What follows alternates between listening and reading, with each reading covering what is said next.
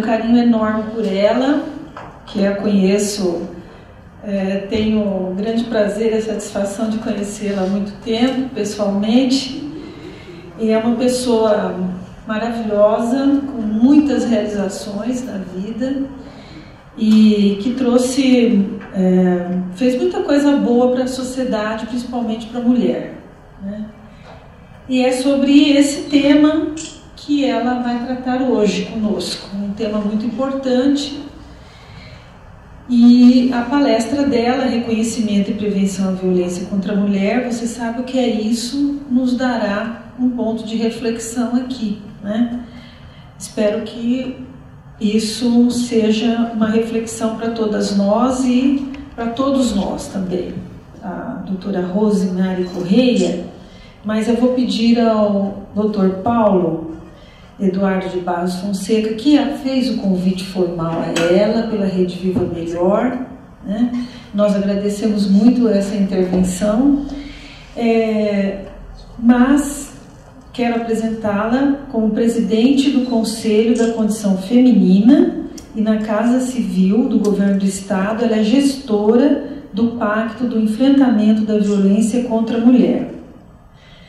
Quero agradecer a sua presença aqui, viu, Rosmarie? E em nome de, da, do gabinete, do reitor e da vice-reitora e de todas nós aqui do prédio, é um grande prazer tê-la aqui presente. Paulo. Obrigado, professora. Boa tarde. A, a, professora praticamente já cumpriu o meu papel, sem de apresentar a nossa palestrante, mas é com alegria que também o faço. Eu tenho o prazer de conhecer a, a doutora Rosmari Correia há alguns anos. É, eu me lembro que quando ela foi designada a primeira delegada da Delegacia das Mulheres aqui em São Paulo pelo governador Montoro, a primeira delegada da Delegacia da Mulher do mundo. É, nós a convidamos para fazer uma palestra no Rotary Club, é, que é uma entidade que eu faço parte. E ela de pronto aceitou. E ali foi nosso primeiro contato pessoal, isso faz algum tempo, acho que não é importante dizer quanto. E, e de uma forma des, despretensiosa, porque foi assim mesmo, começou uma amizade. É, depois, com o relacionamento que nós estamos mantendo, a Rose se tornou rotariana também. Eu sou amigo, tenho o prazer de ser amigo do marido dela, o Coronel Bizarria. Nós fomos descobrir que ela foi colega de, de turma na Faculdade de Direito do meu pai.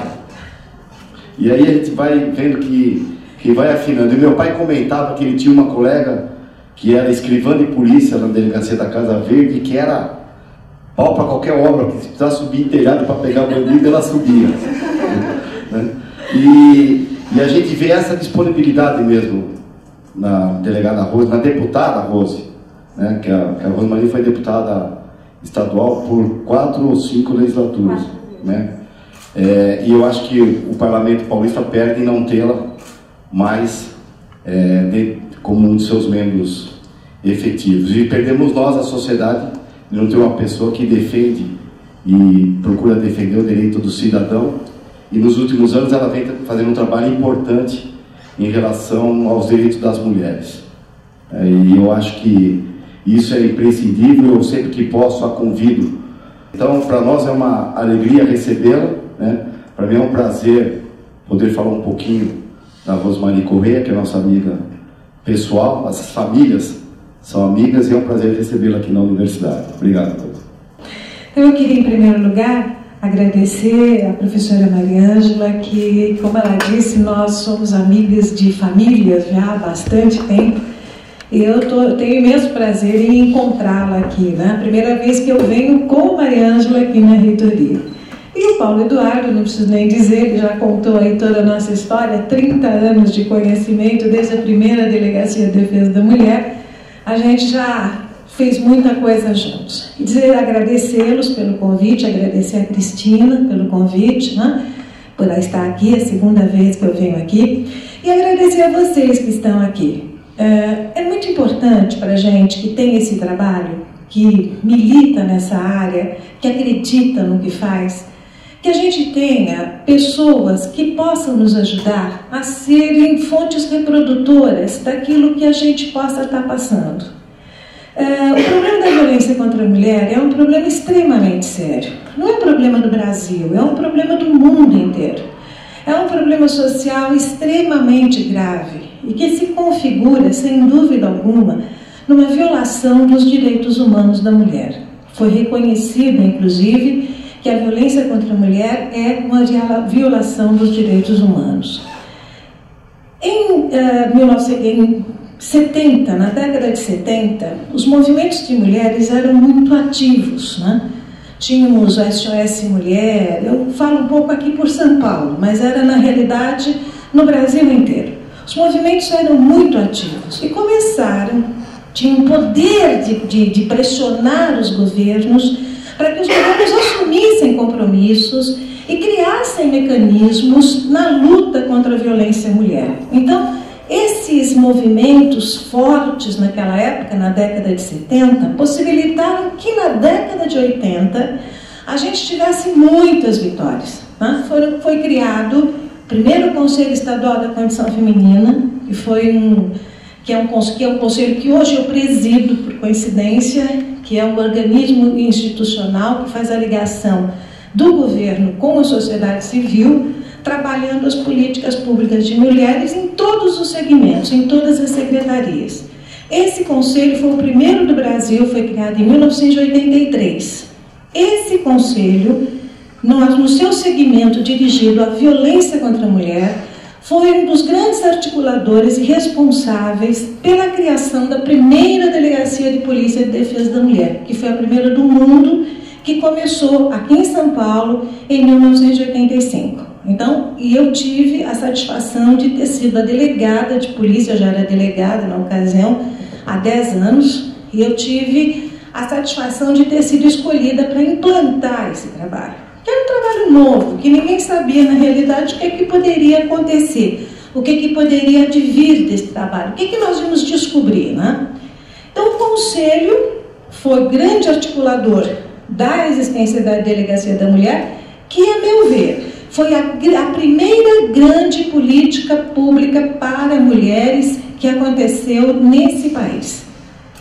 A partir da criação da Delegacia da Mulher, começaram a se perceber que só a delegacia da mulher não resolveria o problema da violência. A mulher chegar, fazer a sua denúncia, o boletim de ocorrência, o inquérito policial, o encaminhamento por fora, não era só isso. E o resto? O que, que você vai fazer com essa mulher que precisa muitas vezes de atendimento psicológico? Porque a violência é tamanha que ela perdeu toda a sua autoestima, e ela não tem nem condição de fazer uma denúncia, porque a autoestima dela é tão baixa que ela nem sequer reage mais à agressão do marido ou do companheiro, pela própria situação em que ela está vivendo. Então você tem que primeiro fazer um trabalho psicológico com essa mulher, para depois ela ser forte o suficiente para registrar uma denúncia policial. Então, a delegacia descobriu que tinha que ter um apoio psicológico. Então foi criado um mecanismo de atendimento com psicólogas que trabalhavam junto conosco, ou na delegacia, ou em núcleos, né? Que a gente acabava encaminhando essa mulher. Bom, mas aí tem o atendimento social, né? Muitas delas não, tem, não tinham condição de voltar para casa, não tinham dinheiro, o marido foi embora porque ela soube que ela foi registrar a ocorrência. Tem ali a assistente social, a bendita, e eu falo com todo carinho, a bendita assistente social. Você que essas mulheres fazem um trabalho, mulheres e homens, né? Só que a maioria são mulheres. Mas elas fazem um trabalho, gente, que olha, é digno de todos os elogios. Essa parceria que nós tivemos, delegadas e policiais da Delegacia da Mulher, com as assistentes sociais, eu digo que foi responsável pelo sucesso da nossa delegacia. E nós trabalhávamos de uma forma tão junta, né? é, tão, sabe, a delegada com o assistente social e uma cobrindo a outra, que era da parte da assistente social, que era da parte da delegada. Inquéritos policiais, principalmente de violência sexual contra criança, né? Vocês sabem que é muito difícil, criança estuprada dentro de casa pela própria pelo próprio pai, ou às vezes pelo irmão. Então, eu fazia um inquérito, assistente social fazia o atendimento dessa criança, dessa mãe, fazia o relatório, a gente juntava o relatório no inquérito policial, mandava para o juiz. Meu Deus do céu, estava completo, não precisava mais informação. Então, essa parceria foi maravilhosa. E aí nós tivemos também um núcleo de assistentes sociais trabalhando conosco na delegacia. Bom, mas isso não bastava. E a mulher que precisava, não podia voltar para casa porque senão o marido matava. Né? Ele era extremamente violento. Ao saber que ela havia feito uma denúncia, o que, que poderia acontecer? Ele poderia ter uma atitude mais violenta, que poderia ser, inclusive, o assassinato dessa mulher. Então, precisamos criar um abrigo. Né? E o primeiro abrigo para mulheres vítimas de violência que não podiam voltar para casa começou no ano de 86, tá? Uh, junto à Delegacia de Defesa da Mulher, não junto, a Delegacia da Mulher que fazia o encaminhamento, mas era um local uh, que não tinha, não podia ter identificação, era o endereço que ninguém podia ter, e começou para fazer esse trabalho. Então, quando eu digo que a Delegacia da Mulher foi a primeira política pública realmente dirigida à mulher vítima de violência, eu quero dizer porque a partir daí surgiram as outras necessidades e as autoridades se viram premidas a atender a esses reclamos dessas necessidades em função até de toda a publicidade que a Delegacia da Mulher teve. Então, eh, as coisas foram eh, acontecendo Uh, foram ações concretas que aconteceram no atendimento à violência contra a mulher. A Delegacia da Mulher se espalhou pelo Brasil inteiro, para fora do Brasil. Aí foram também criados os centros de referência à mulher, né, que eram, que estão ainda hoje existem nos municípios, existem aqui na capital, e a nível jurídico, né, leis de proteção à mulher. Ah, também houve todo um trabalho feito junto aos legisladores no sentido de que se criassem legislações específicas para o atendimento, porque no início o que acontecia? Era o Código Penal, artigo 129, lesão corporal, aquela coisa toda que acabava não dando em nada. Né? Que a gente ia, ia, ia e acabava não dando em nada. Não tinha uma lei específica para a mulher. E anos depois, graças a nossa querida Maria da Penha, né? é uma grande batalhadora e lutadora que todas nós que militamos nessa área devemos muito, porque pela violência que ela sofreu e que não se tomou nenhuma providência e que a tornou paraplégica, e ela não desistiu de procurar os seus direitos, e graças a essa procura dela, chegou até as organizações dos Estados Americanos e veio para o Brasil, né? Ah, o Brasil foi condenado, mas melhor do que a, a, vamos dizer, a advertência que o Brasil recebeu foi a sugestão, entre aspas, de que o país criasse uma lei específica de atendimento à mulher vítima de violência. E foi assim que surgiu a Lei 11.340. Não é porque o governo queria, porque o governo foi bonzinho, porque o governo mandou para o Congresso Nacional a lei, porque ele pensou nas mulheres. Foi nada, gente. Se você não pressionar, se você não questionar, nada acontece. Então, veio da OEA essa sugestão para que o país tivesse uma lei específica de atendimento à violência contra a mulher. Aí, a presidência da República mandou um projeto para o Congresso Nacional, uma porcaria de projeto, que não atendia absolutamente nada, mas nós demos muita sorte porque pegamos uma deputada para ser relatora, a deputada Jandira Fegari. Eu faço questão de, eu, eu posso até não concordar com a ideologia política dela, mas eu tenho que tirar o chapéu para ela, porque se não fosse por ela, nós não teríamos a Lei Maria da Penha que nós temos hoje. Ela botou essa lei debaixo do braço, esse projeto de lei debaixo do braço, correu o Brasil inteiro, fazendo audiências públicas, pegando sugestões do que poderia ser mudado, do que melhoraria. E para vocês terem uma ideia, do projeto original que foi encaminhado para o Congresso Nacional, não sobrou nada.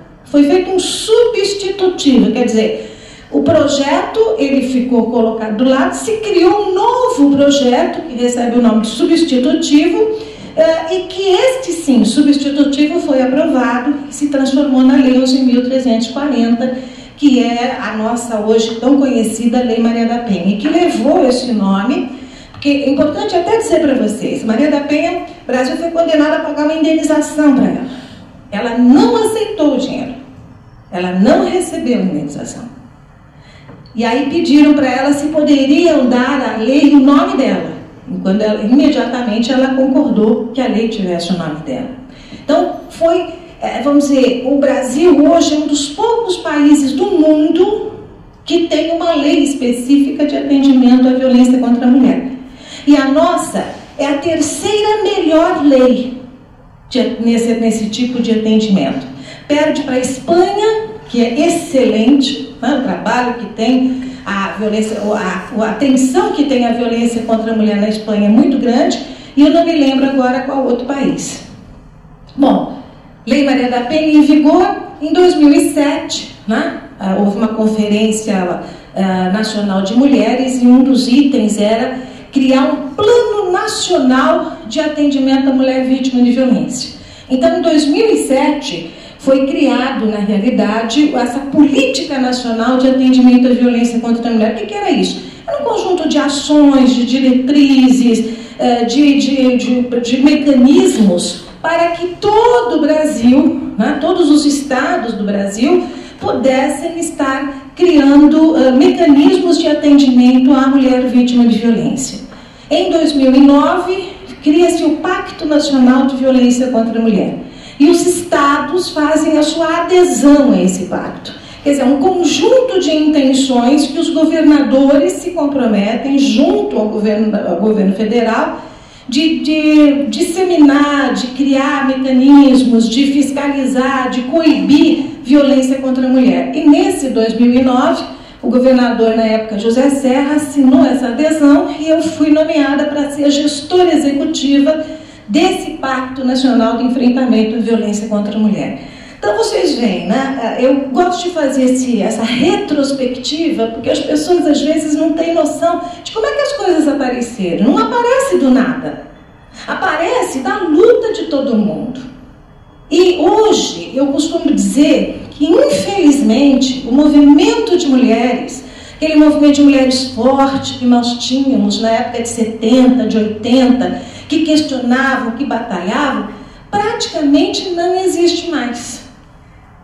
Semana passada, só abrindo um parênteses, nós, eu participei de um congresso internacional eh, que foi feito pelo Instituto Patrícia Galvão e Instituto Vladimir Herzog, que era eh, a discussão da cultura da violência contra a mulher.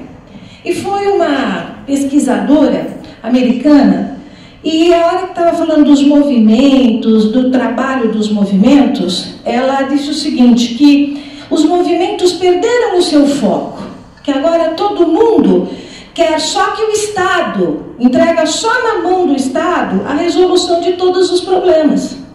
E não, não pode ser assim. Você pode até exigir dele a resolução de problemas, mas você tem que levar para o Estado as sugestões, o que, que, seria melhor. E é por isso que você tem que pesquisar, é por isso que você tem que ver para saber qual é a estratégia que você tem que usar para melhorar uma determinada situação. E aí sim, você vai ao Estado e diz para o Estado: olha, está acontecendo isto, isto, isto, isto. Cientificamente provado por essa pesquisa, assim, assim, assim. E para resolver isso, nós estamos fazendo a seguinte proposta.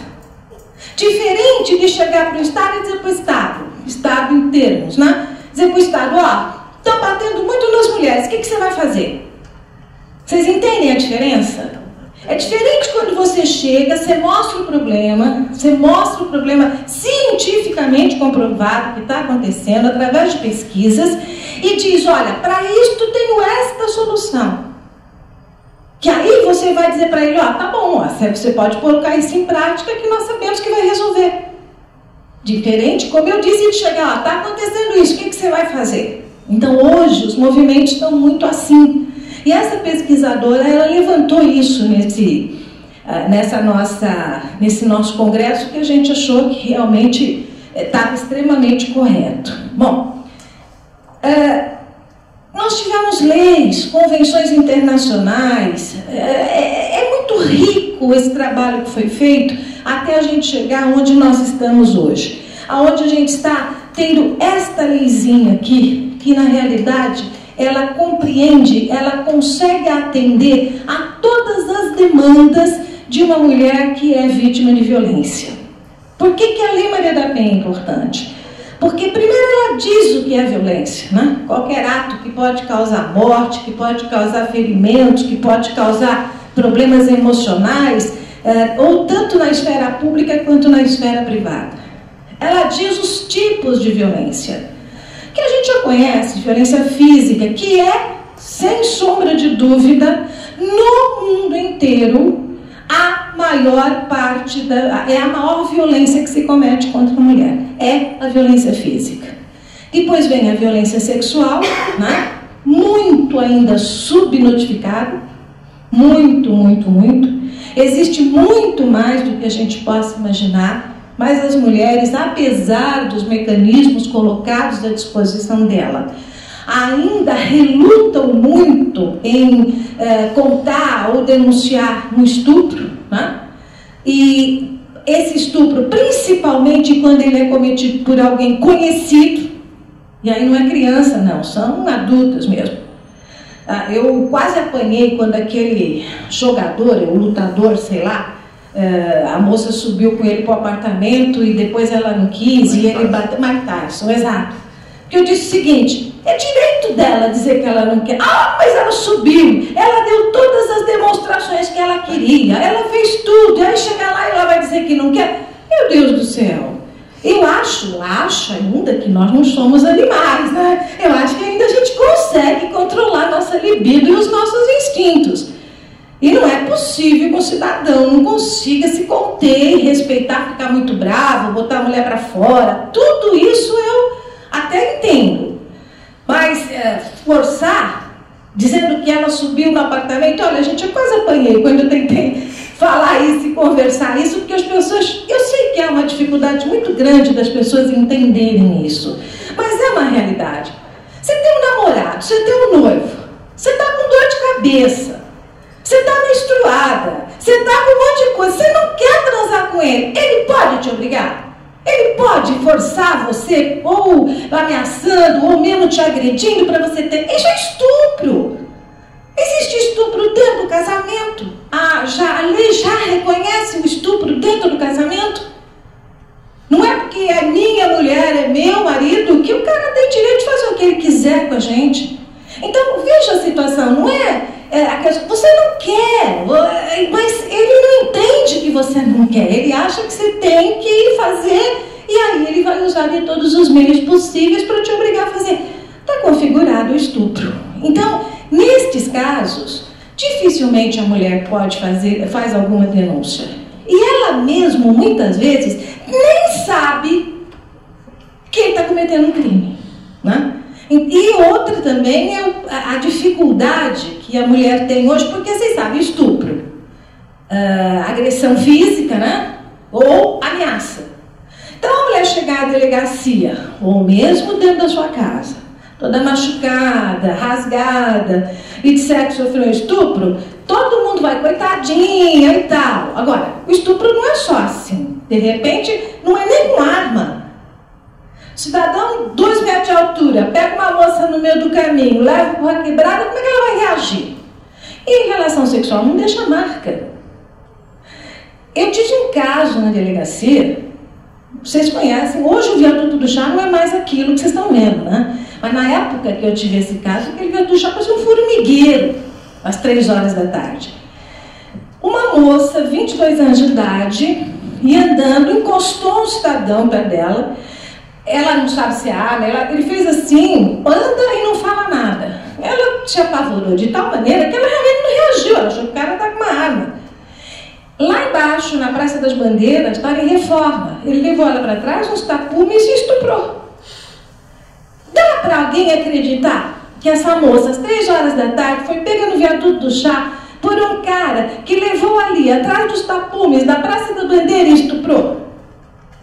Mas aconteceu. Aconteceu.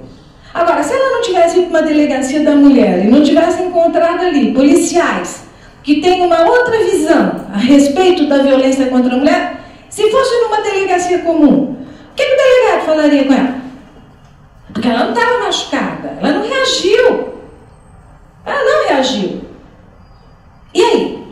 Então vocês vejam que essa situação é muito mais, essa denúncia do, do, da violência sexual, ela é muito mais complicada do que as pessoas possam imaginar. Por isso que eu digo, ainda é subnotificada. Eu comentei com a professora Maria Ângela hoje que quando a mulher não corre o risco de uma gravidez indesejada, ela não conta a violência que ela sofreu nem para sua melhor amiga. Principalmente se ela for casada. Porque isso destrói o relacionamento de um casamento. Por mais que o casal seja forte, destrói.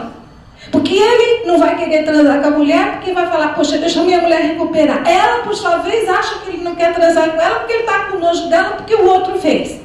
E aí, gente, não tem casamento ou relacionamento que resista a uma situação como essa. Por isso que eu digo, volto a repetir, que o estupro ainda é subnotificado. Violência moral, né? calúnia, injúria e difamação, todo mundo conhece. Hoje nós temos aí a internet, as redes sociais, a, como é que eles chamam? A, a vingança virtual, né? O namorado fala para a namorada: Deixa eu tirar umas fotos de você sem roupa. Ah, não, eu não quero. Ah, não, então eu vou deixar você. Aí ela deixa ele tirar foto sem roupa. Aí eles brigam. Ela não quer mais saber dele. No dia seguinte está lá a foto dela nua nas redes sociais para todo mundo ver. Isso é uma coisa muito nova ainda. Você vai punir como? Né? Você pune quem colocou e quem compartilhou também tem que ser punido. Como é que é isso? As coisas que você está vendo. E como é que você bota na cabeça das mulheres, principalmente as mais jovens, pelo amor de Deus? Para que, que precisa filmar relação sexual? Para que, que precisa tirar fotografia com roupa íntima ou sem roupa nenhuma?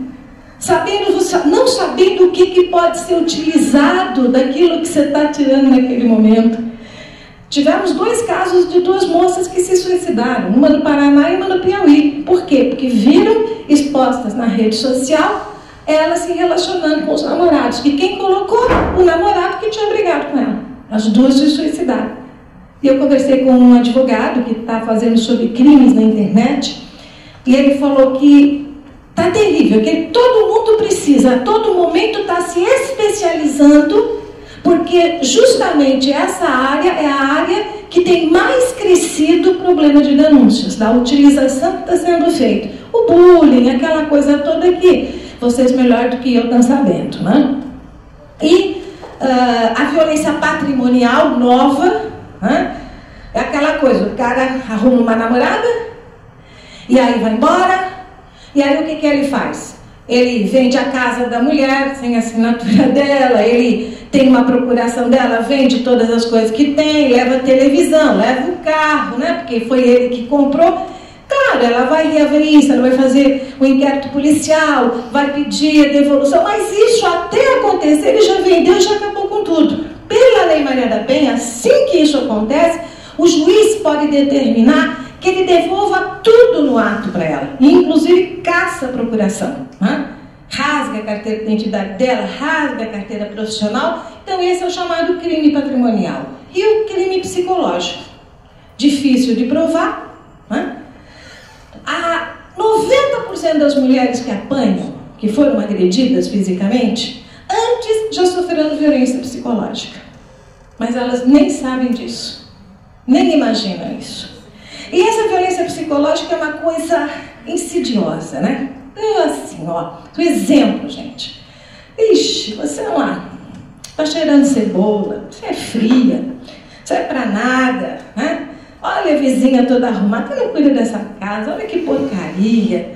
Olha, pelo amor de Deus, arruma esse cabelo. Oh, ei, tá com mau hálito. E ela vai ouvindo aquilo todo dia e vai acreditando naquilo. Ela esquece de dizer para ele que ele tem chulé, que ele ronca à noite, que ele faz tudo isso. Ela não pensa em falar isso para ele. Ela só vai tendo, como eu disse, a autoestima dela de uma maneira tamanha rebaixada que ela passa a acreditar que ela é aquilo. E quando vem a agressão, ela nem reage porque ela acha até que ele tem direito de estar agredido porque ela é tudo aquilo que ele falou. Ela que está falhando sexualmente, ela que sabe que não está legal. Gente, é incrível estar tá dizendo isso para vocês, mas tenham uma coisa em mente. Isso de alguém que está nessa área há 40 anos. A violência sexual, a física, psicológica, moral, acontece em todas as classes sociais. Não pensem que só acontece com a coitadinha da faxineira, com a coitadinha da mulher que mora no cortiço, com a coitadinha da mulher que mora na favela. Não é verdade. Não é verdade. Acontece em todas as classes sociais. Todas. Tenham isso em mente para deixar os preconceitos do lado de fora. Não, ela apanha, ela está passando por isso, coitada. Ela não estudou, não tem noção. Mentira! Tem gente que está aí, ó, intelectualmente brilhante e que passa por situações como essa. Então, essa violência psicológica que a Lei Maria da Penha fala, né, uma das cinco casos de violência, é, realmente é uma das mais difíceis de provar. Mas, como eu disse, 90% das mulheres que são agredidas fisicamente já sofreram antes da violência psicológica. Então a lei diz quais são os crimes, diz que só a mulher pode ser vítima nos casos da Lei Maria da Penha, homem não é vítima em caso de Lei Maria da Penha. Vocês verem a barbaridade, a dificuldade que a gente tem de fazer prevalecer os nossos direitos, mesmo quando eles estão resguardados por lei. Um juiz do Rio Grande do Sul entrou no Supremo com uma ação direta de inconstitucionalidade para dizer que a Lei Maria da Penha era inconstitucional. E por quê? Porque a, Constituição diz que todos são iguais perante a lei. Então, não pode ter uma coisa específica só para a mulher. A Advocacia Geral da União precisou entrar, por sua vez, com uma ação direta de constitucionalidade para provar que a lei, para o Supremo dizer, a lei é constitucional e tem que ser aplicada, porque os juízes não queriam aplicá-la. Então, olha, as, nós, mesmo com essa lei maravilhosa que nós temos, as dificuldades que a gente tem para que essa lei possa ser implementada. Essa lei define qual o papel da polícia, qual o papel do judiciário, qual o papel da defensoria, qual o papel do Ministério Público, né? Diz das medidas protetivas, de afastamento do, do agressor, de que ele não se aproxime da vítima, enfim, é uma lei completa. Cria os juizados especiais de violência doméstica, para onde vão esses casos.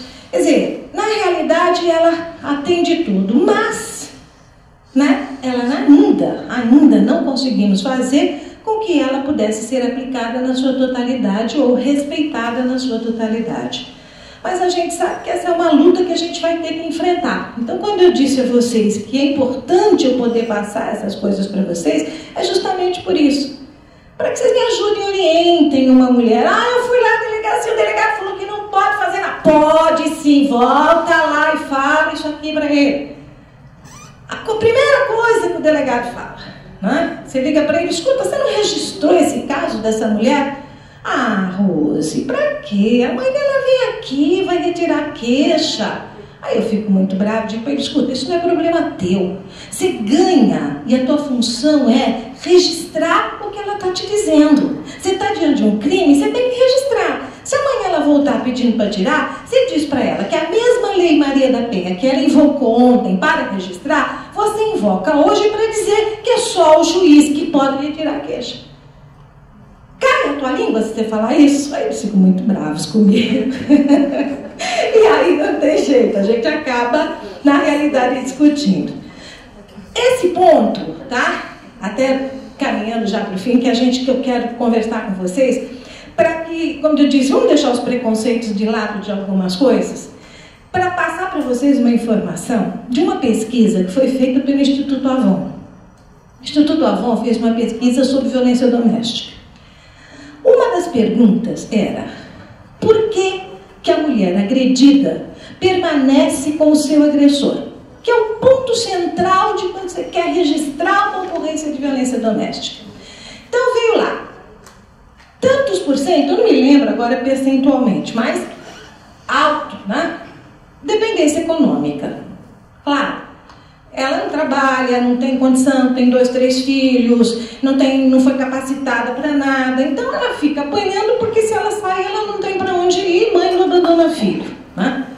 Então, veja só, mais uma política pública que tem que ser incorporada nesse, nesse, nessa relação que a gente está tendo. Não basta só mandar para o abrigo, não basta só mandar para o centro de referência, não basta só fazer a, a ocorrência. Você tem que mandar essa mulher para uma capacitação. Você tem que capacitar essa mulher, preparar essa mulher para ela poder entrar no mercado de trabalho de uma forma ou de outra para que ela possa se sustentar. Porque a maior parte delas permanecem com eles porque não tem condição de se sustentar. Logo abaixo, um pouquinho de diferença só, dependência emocional. E que é isso? Quando casou com o cidadão, ele era bonzinho, né?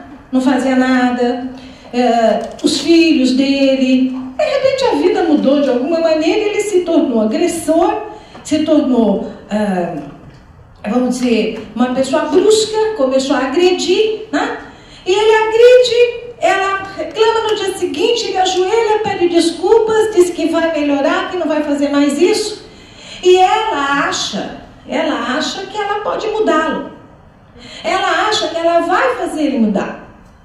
Ela, ela, ela gosta dele. A gente pode, pode achar ruim, não pode, você tem que entender. Então ela acha que ela pode mudar. Passa 15 dias, ele bate de novo, repete de novo, pede perdão de novo, e aquilo vai indo num círculo vicioso até, gente, que aquela coisa que eu falei para vocês da autoestima dela tá tão lá embaixo que ela passa a apanhar e nem reage mais. Mas em princípios ela fica com ele porque ela ama. Quando ela procura a polícia, ela não quer prender o marido. Ela quer que a gente faça com que volte para ela aquele homem com o qual ela casou, que não agredia, que era bonzinho e tudo mais. Você tem que respeitar. Então eu digo sempre o seguinte: a mulher tem que ter o direito de optar. Para ela optar qual é o tipo de atitude que ela quer ter, ela tem que ter conhecimento dos meios, dos mecanismos que estão à disposição dela. Então ela tem que saber que existe a lei, ela tem que saber da delegacia da mulher, ela tem que saber que ela pode fazer inquérito, ela tem que saber. A hora que ela sabe de tudo isso, que você conseguiu passar para ela, tudo que ela tem ao, seu, ao dispor dela, e ela resolve ficar com ele, eu respeito. É uma opção dela. Ela tem que ter o direito de optar. Eu não posso entrar na vida dela e querer que ela faça aquilo que eu acho que é bom. Ela tem que optar. O que eu não aceito é ela ficar nessa vida sem conhecer os meios que ela tem à disposição para se livrar dessa situação. A partir do momento que ela é informada, ela tem o direito de optar. E se ela optar por ficar com ele, o que, que nós podemos fazer? Temos que aceitar a decisão dela, porque a decisão é dela. Apesar de que a Lei Maria da Penha hoje é muito clara, né? Qualquer pessoa pode dar queixa de uma agressão que uma mulher esteja sofrendo. Não precisa ser ela direto agora. E é crime de ação pública. Chegou ao conhecimento da autoridade, tem que instaurar um inquérito e tem que fazer alguma coisa. E, uh, na, que nós estávamos dizendo, a terceira, essa um pouco mais distância, mas preocupante, porque foi a primeira vez que esse dado apareceu numa pesquisa. Ela fica com o agressor por medo de ser morta por ele. Então, gente, ela não está errada. Todo dia vocês ouvem no rádio, na televisão, no jornal, uma mulher que foi morta por um ex-marido, pelo namorado, pelo noivo. Então ela sabe que apesar do Estado colocar tudo aquilo à disposição dela, ela está sujeita a ser morta por ele. Então ela acaba ficando de medo de ser morta por ele. O Brasil é o décimo país do mundo em homicídio de mulheres hoje. Décimo país do mundo. Em 50 casos, por exemplo, 45 a mulher é morta em função de violência doméstica. Tanto que no ano passado foi aprovado no Congresso Nacional o crime de feminicídio. Nome ruim para chuchu, mas é o homicídio que é feito contra a mulher em função de uma violência doméstica. Faz parte já do Código Penal para ser punido de maneira mais rigorosa. Então, vocês vejam que não é fácil. Né? Não é fácil. É, a gente precisa de ajuda. E vou dizer uma coisa para vocês aqui, sabe, muito importante. eu acho que hoje, nós, por isso que eu quero aqui agradecer muito aos homens presentes. Eu acho que as mulheres, a grande maioria delas, já sabem dos seus direitos, já conhecem os caminhos. Hoje nós precisamos que os homens de bem e do bem se juntem a nós. Porque quando você pegar na tua rodinha do futebol de domingo, lá no boteco que você costuma ficar, passa para dar um abraço nos amigos, você pegar um cidadão que você percebe a maneira que ele está falando, que ele bateu na mulher, ou que ele vai fazer isso, que ele vai fazer aquilo. Então você, por favor, ajuda a gente. Chama esse cara do lado, né? Fala para ele, escuta o que, você está pensando. Esse é covarde, sei lá, aquela conversa que homem tem com homem, que nós mulheres temos com nós mulheres, mas que homem tem com homem, ajudando a gente nesse sentido. Nós precisamos da ajuda masculina nesse sentido, realmente precisamos, porque a gente está esgotando as nossas últimas forças e parece que não estamos conseguindo sucesso. E a gente então precisa de vocês, porque Deus o livre guarde de imaginar que todos os homens são agressores, ou são estupradores, é? ou ameaçam, não é isso. Então, se os homens se juntarem a nós nessa luta, ter a chance de procurar resolver com muito mais rapidez esse problema que nos atinge. E para terminar, né, perguntaram assim para mim, bom, como é que você pode prevenir a violência? Não sou eu que vou prevenir, é o governo, são as autoridades que têm que criar os mecanismos para que a gente, para que essa violência seja afastada de uma vez por todas, né, do seio da nossa sociedade. Primeira coisa é garantir a igualdade de gêneros. Vamos parar com essa história de pagar menos mulher do que o homem exercendo a mesma função. Vamos parar com essa história de que mulher só pode trabalhar em programa social, a mulher não pode ser, não pode ser trabalhar em finanças e tal, porque ela não tem competência para isso. Vamos parar de pensar que é só a mulher que tem que cuidar do filho. Não somos nós, é o Estado que tem que reconhecer isso. É o Estado que tem que fazer trabalhos nesse sentido. Vamos fazer pesquisas, tá? Porque se você não pesquisar o que está acontecendo e por que está acontecendo, como é que você vai montar estratégias para combater? Como é que você vai montar planos? Escuta, homem bate na mulher, por que, que ele bate na mulher? Como é que tem os casos? Quantos são? Que são? Vamos pesquisar. Porque não adianta dizer, olha, eu acho que a gente deve fazer isso aqui, ó, vamos na casa da mulher brasileira aqui, porque vai resolver. Não, pode ser que aquilo não seja o que vai resolver o problema naquela comunidade. Então eu tenho que estudar, pesquisar e ver o que é que se aplica naquele caso específico que eu estou fazendo. Então isso são uma, formas de ter estratégias. Você só pode ter estratégia de combate à violência se você estuda como é que a violência está acontecendo e de que jeito ela é. E o mais importante, né? botar grana nos programas para as mulheres vítimas de violência porque é o dinheiro que move o mundo. Se não tiver dinheiro para fazer o centro de, atendimento à mulher, se não tiver dinheiro para fazer o abrigo, se não tiver dinheiro para fazer a capacitação, se o governo não investir nesses projetos financeiramente falando, nós vamos ficar falando ao Léo o tempo todo, sabendo o que interessa, o que melhora, mas sem condição financeira de realizar. E isso depende do governo. Né?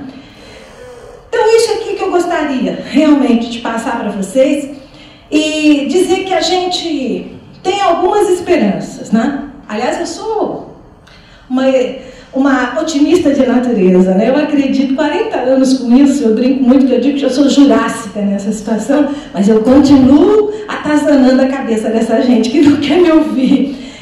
Nós vamos, nós, como gestora do pacto, existe um programa no governo federal, na Secretaria de Política para Mulheres, chamado Casa da Mulher Brasileira. O governo federal vai construir em cada uma das capitais dos 27 estados, 26 estados, 27, não? É, uma Casa da Mulher Brasileira, o que, que é?